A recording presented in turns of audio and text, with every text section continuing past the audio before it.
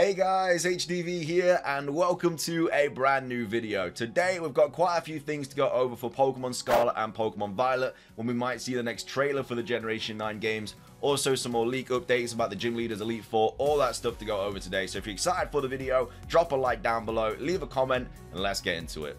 So, starting things off, when might we see the next trailer for Pokemon Scarlet and Pokemon Violet?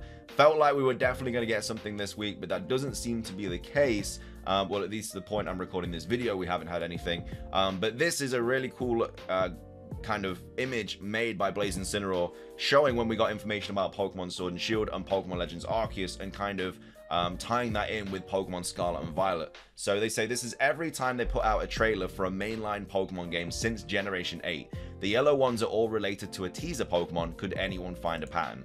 So as you can see, month one, uh, which was marketing when it started with the second trailer for Sword and Shield, we got it on June the 5th, which was a Wednesday. Um, but of course, on the Scarlet and Violet second trailer, it, it, appeared on the 1st, which was a Wednesday, the 1st of June.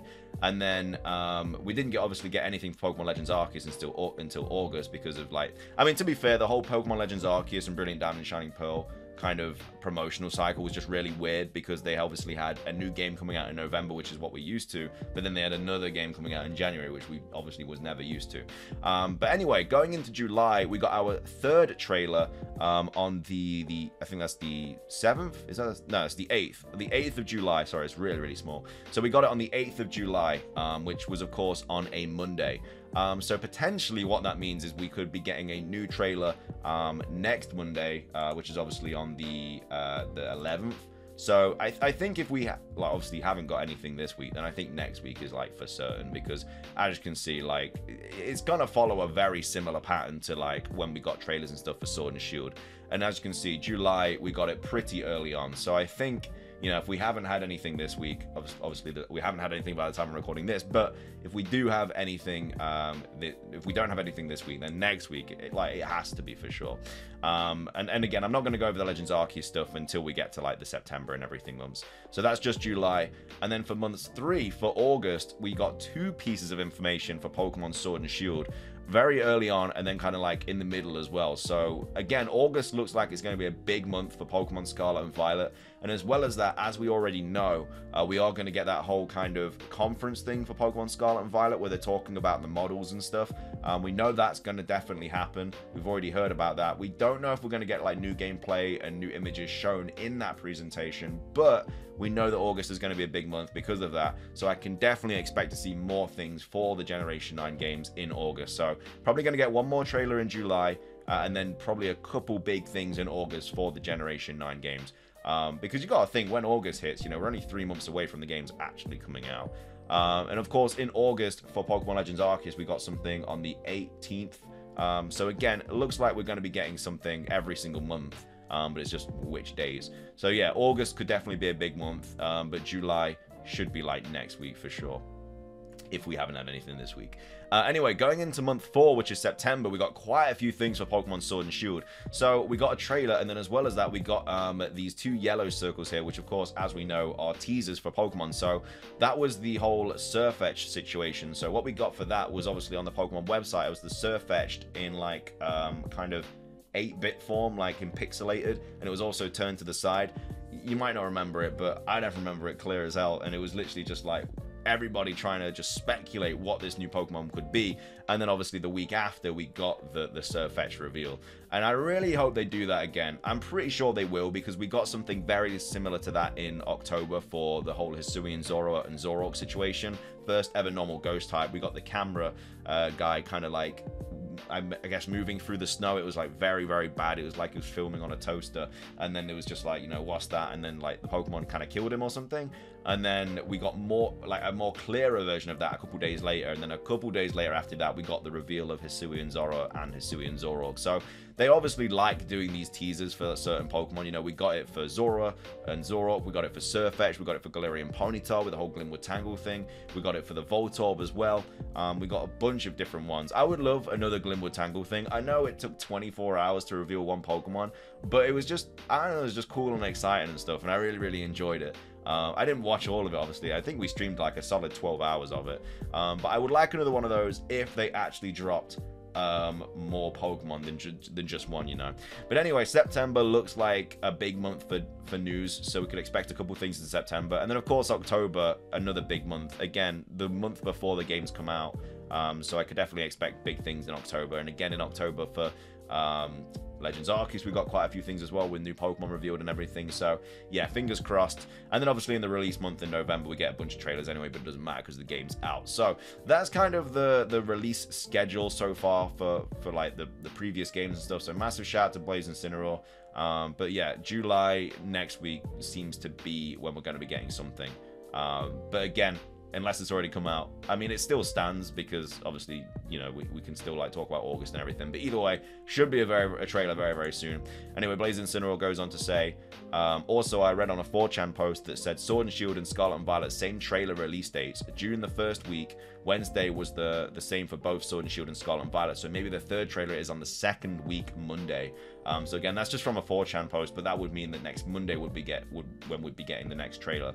And then we have Pocozo saying Sword and Shield 14 trailers, 28.6% on a Monday, 28.6% on a Wednesday, and 28.6% on a Friday, and then 7% on Thursdays and Sundays. Pokemon Legends Arceus, we've got eight trailers, um, with 37.5% on a Tuesday and a Wednesday, 12.5% on a Thursday and a Friday, and then Scarlet and Violet two trailers have been on a Sunday and a Wednesday. So yeah, I, again, these are just kind of the percentages of when we'd see like new trailers and stuff, and then by probability, I'd say next Wednesday.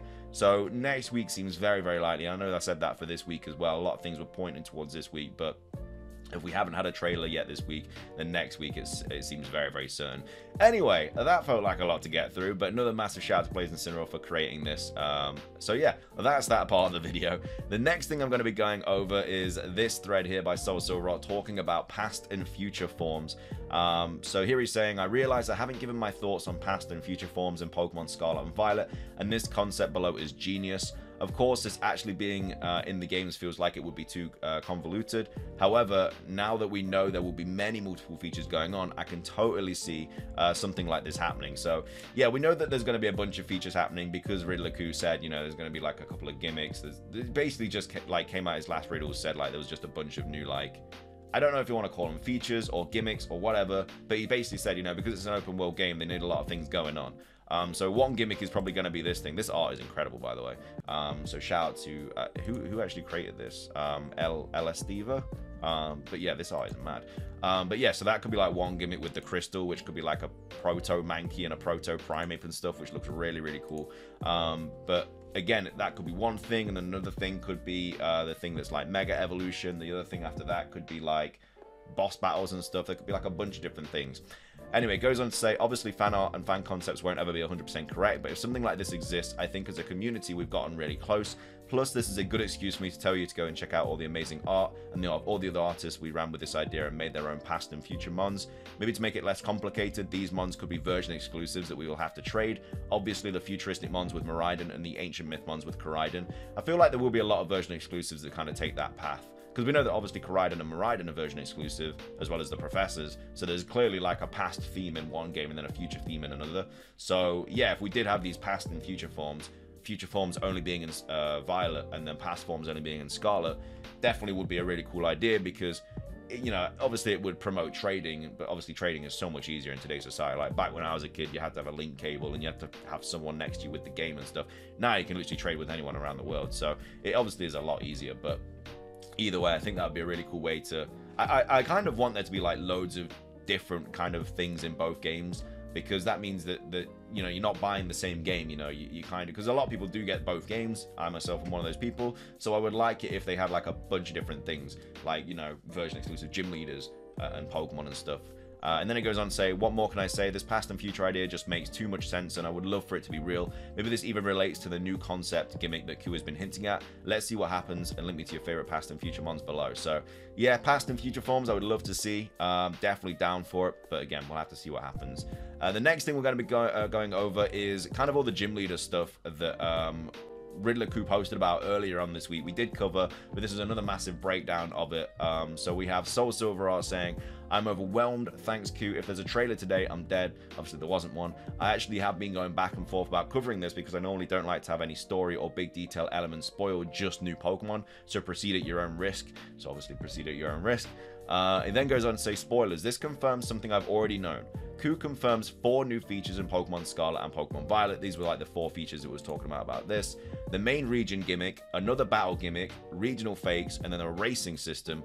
Uh, more to it. This is on top of old regional forms, possible boss trials slash camp equivalent, 100 plus new mons, four player co-op, open world, and more. So these game, these games, these games are setting up to be absolutely bloody massive, and they should be. You know, Generation Nine is brand new gen open world game as well. Like open world games, they're supposed to be massive, supposed to be immersive. And I think if we have all of these things in here, we, we can expect a really, really good Pokemon game.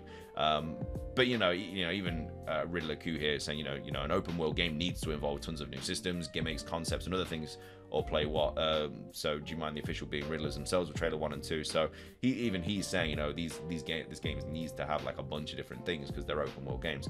Uh, he then goes on to say, I've been saying it for months. This is an open world game. They've got to give us plenty to do. Still not sure what official teased memes mean. Khu saying the trailers have teasers. As for the gym leader teased in po- uh, promotional video one, I think it's the spiderweb, probably a bug type gym leader. So yeah, we, we've been over this quite a bit. We thought this was like a Pokemon, like a boss or something like that, but it could j- just simply just be referring to uh, a gym leader. And we have Riddler Khu saying, you know, by the way, official trailer one also teased a female gym leader, though I never mentioned or teased her before. She is one of the best of Titan waifus, lol. Could you scout the other official uh, clue out of trailer one? And then uh, we have a little bit more as well. I'm now convinced PDY is the region name. He said he already told us. I thought it was a new character for Character Month, but he's only teased two so far, and this isn't one.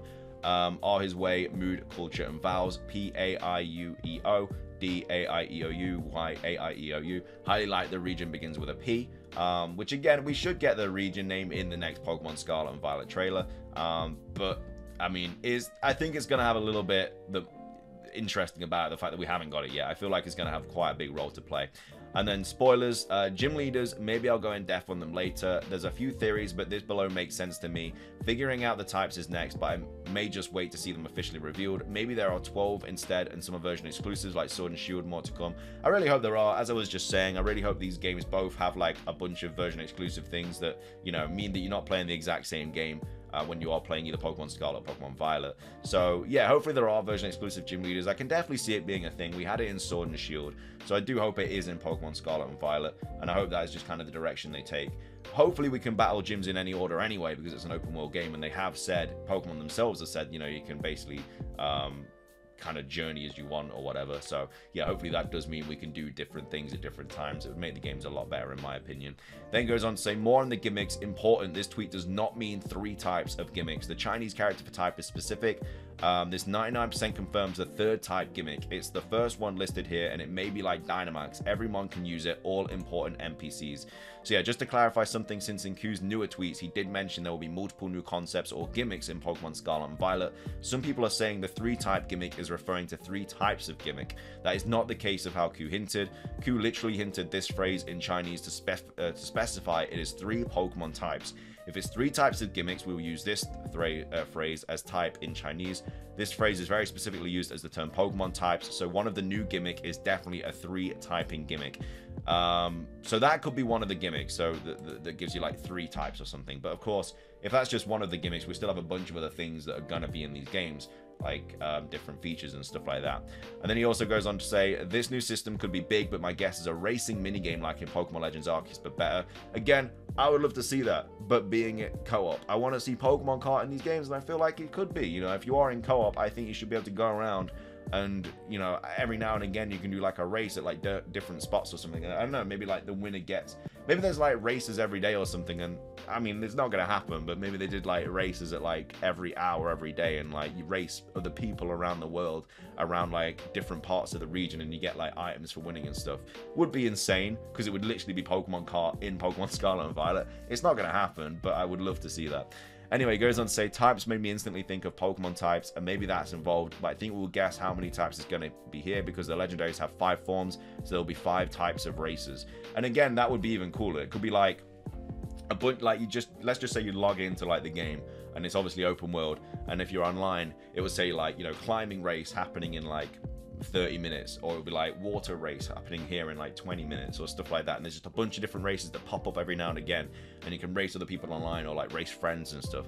I want it to happen so bad. It won't happen but i think that would be so so cool. But anyway that's going to be everything for today's video. I hope you guys enjoyed it. If you did please do consider hitting that like button down below. Let's try and hit 500 likes. Tell me your thoughts on when you think we're going to see another trailer for Pokemon Scarlet and Violet. Again, it looks like it's going to be the next week of July. We'll have to wait and see. Uh, and of course, what are your thoughts on future and past forms? And also, what are your thoughts on like the gym leaders and the races and everything like that? There was a lot to go over, so hopefully uh, you enjoyed the video nonetheless. And if you are still watching, thank you very much. Um, but yeah, if you did enjoy, subscribe if you're brand new, or ring the notification bell. It's everything from me. Have a fantastic rest of your day. Until next time, peace.